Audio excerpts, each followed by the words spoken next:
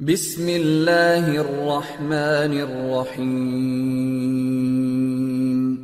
رب زدني علما So the next part, we'll try to get into the uh, lab setup. Now the lab setup is a little bit uh, different than the traditional routing labs, what you do. So what I'm going to do is I'm going to show you the quick lab setup, what we are going to use, okay? Now the first thing in my case, if you see, in order to test it out, we need two gateways. So in my case also, I'm using the router 1 and the router 3. Now these can be routers or it can be uh, L3 switches, okay? So I'm not getting into L3 switches right now. I'll just go with the simple routing. In the later on, I'll I'll show you another lab where we will be using L3 switches and which is more typical uh, production scenario. We can use that as well, okay? But actually it started with routers. Later on, slowly the L3 switches replaced that. So we'll stick to the routers to make it simple and to understand more easily. Then these two routers. So we can use the routers either an IOS image or IOS V image or IOL image, whatever the image you are comfortable with. Uh, I recommend you to use this IOS V image, uh, probably for the routers and the switches. That's something uh, preferable, or else you can just use an IOS image as well. Like in my case, I'll be using that two routers. And the next thing I'm going to use ISP1 and ISP2. So technically in the lab, as we are not connecting the real internet, so I cannot get both the routers and get it done. So instead, I'm going to just keep it simple as one router, the router 2, which will be acting as my ISP router. So both the ISP1 as well as the ISP2.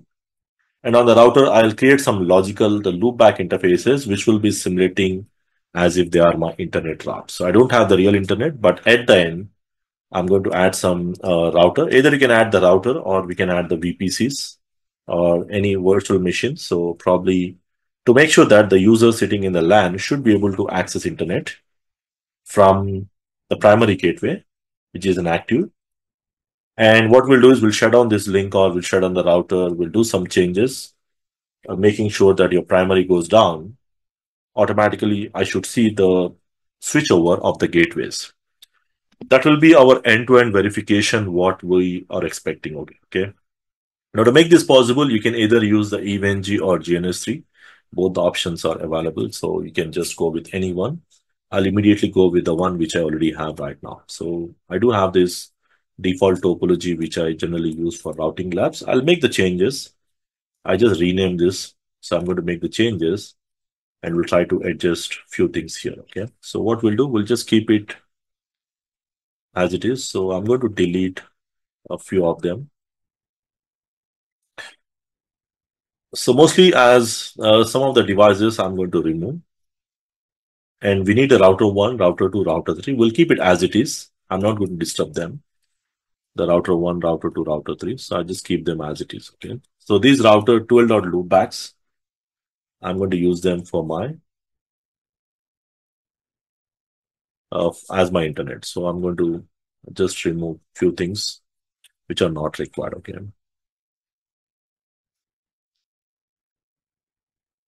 Now the other thing, I need I need some I need a switch from where I can connect. So probably what I'm using is I'm going to use one switch here. And I need some PCs in the LAN. Okay, so just ignore all these things.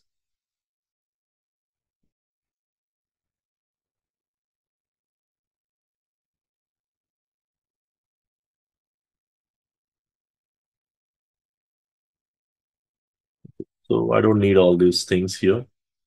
Anyway, I'll just keep them away. And we need to have one uh, switch and in the to connect in the LAN.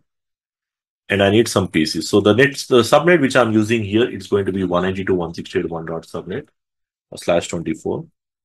And then the gateway address is going to be 192.168.1.100. That is a physical gateway.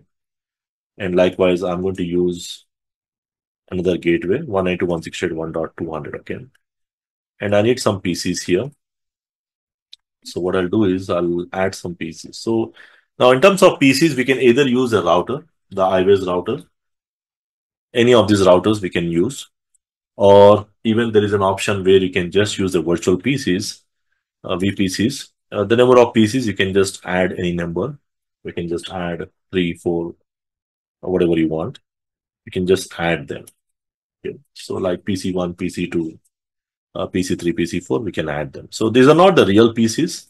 They just simulate as if there is a PC where we can assign the IP address and we can connect them and use it, test it out just like a normal, uh, normal computer. So, so I'm going to make them, make the connection.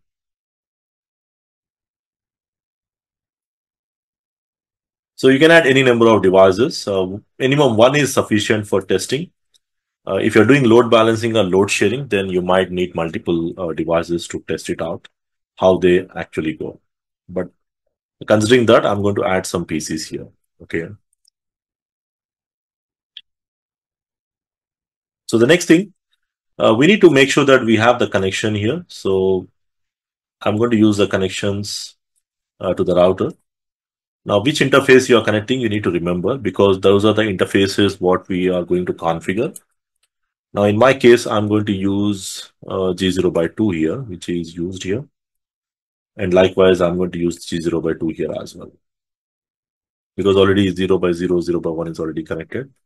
Or I can change, I can remove and I can change those connections if I want. Uh, probably I'll keep the G0 by 0 here, okay? We'll remove these connections and we'll try to add G0 by 0 here. So I'll try to uh, adapt few interfaces. We'll try to connect G0 by 0. Okay, so already G0 by 0 is connecting to the LAN here. We'll remove those connections because the G0 by 0 interface is already connecting here. I think there was no need to remove because uh, I, I should have removed only the LAN.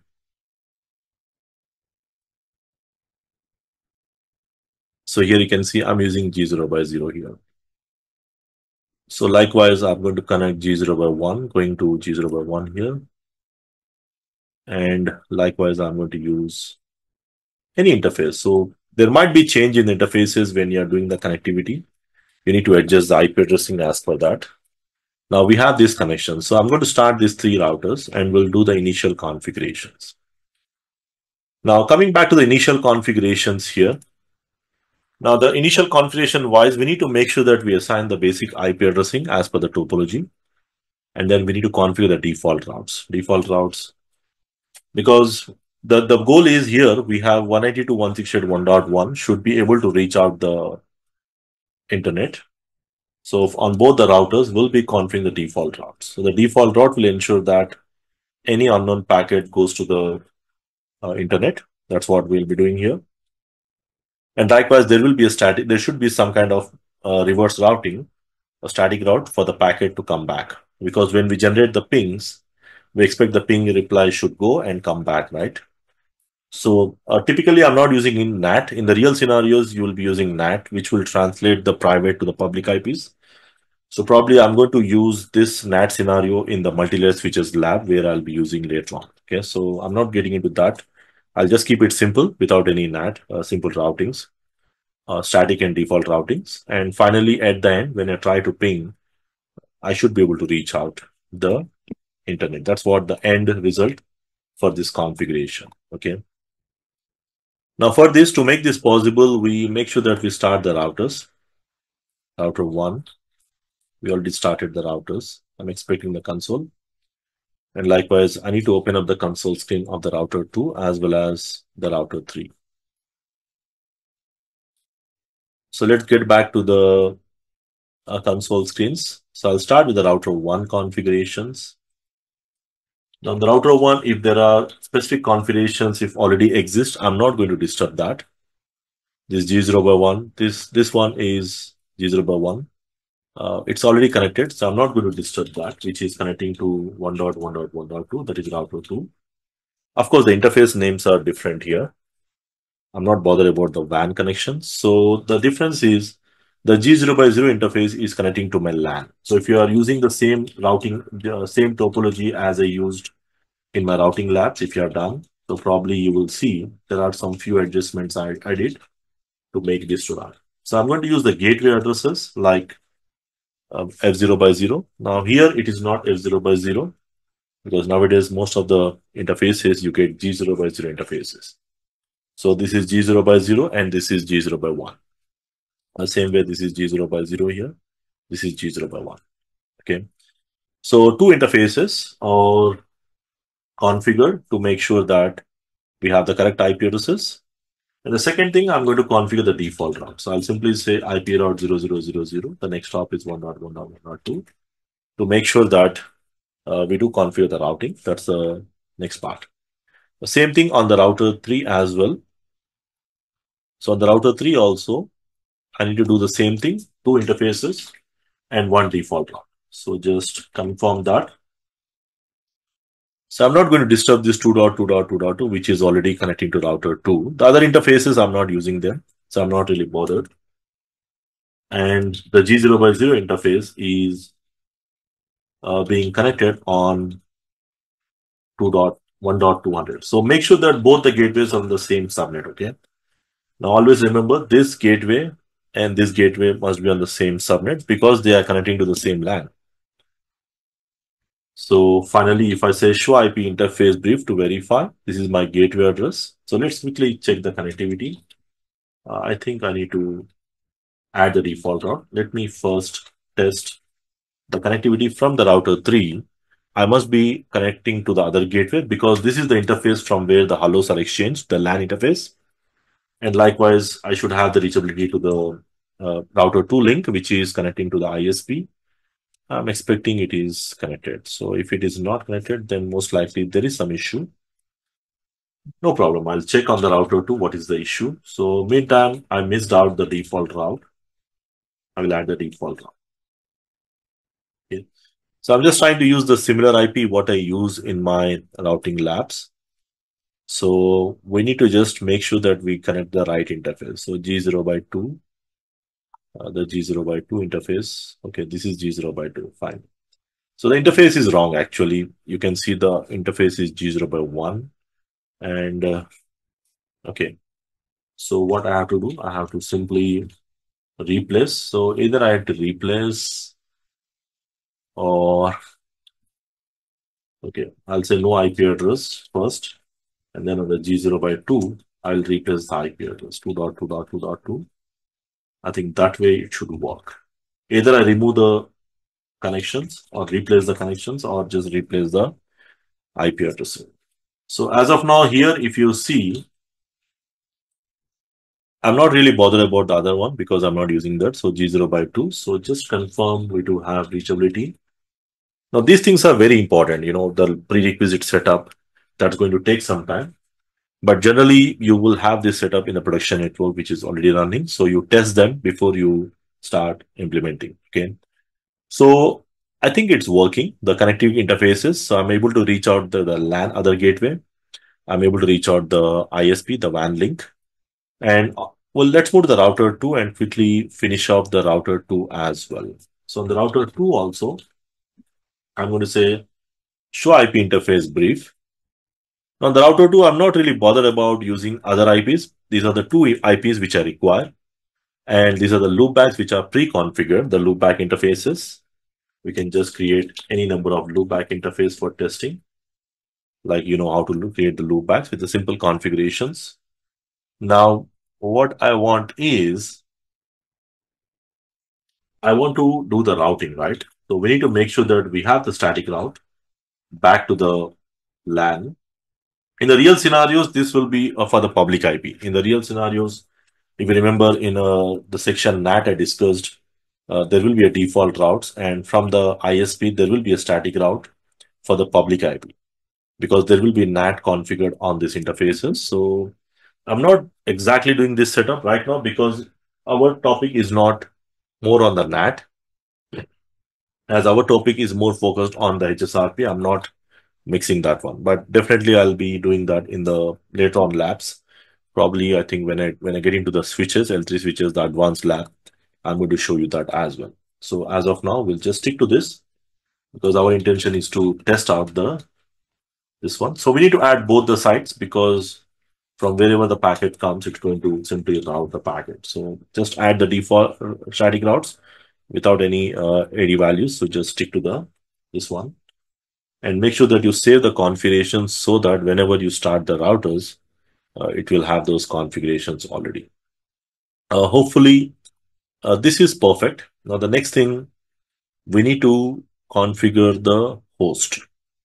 Now, getting back to the VPCs, so the VPCs, any one VPC is sufficient for us to, you know, uh, to verify.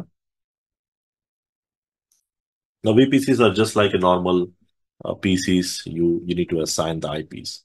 Uh, just we can assign the IP address, we can assign the gateway. Now, the, the good thing about these VPCs is it's going to uh, give a very basic, you know, uh, basic way to test it out a computer. Because if you add a router that requires additional resources, so adding the VPCs, because it's a very simple uh, device. So you just need to power on the device and you need to use the command called IP space, whatever the IP address, then subnet mask with space, whatever the gateway address. So right now I'm going to test with my physical gateways just to confirm. This is the IP address. So I'm going to give the IP address as 192.168.1.1 and I'm and I try to ping. I, I did the ping uh, just now. You can see I'm getting a reply. And also I'm trying to ping to the other gateway. I'm getting a reply.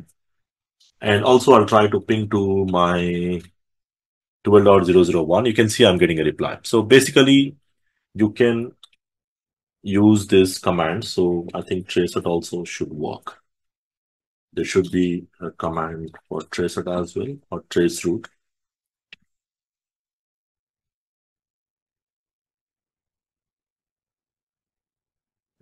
zero one. So traceroute again is not a command. Just a minute, I'll check that. Now, as you can see, there is a command called trace. Uh, these are not the regular commands which we use on the routers or on the PCs. So that's the reason you don't need to really memorize these commands. Even I don't. But uh, because uh, I just need to know this, you know, whenever you say trace, it's going to show you it goes via the first gateway. So what I'll do is I'll change the IP address. So what I'm going to do is I'm going to say that the IP address is going to be 1.1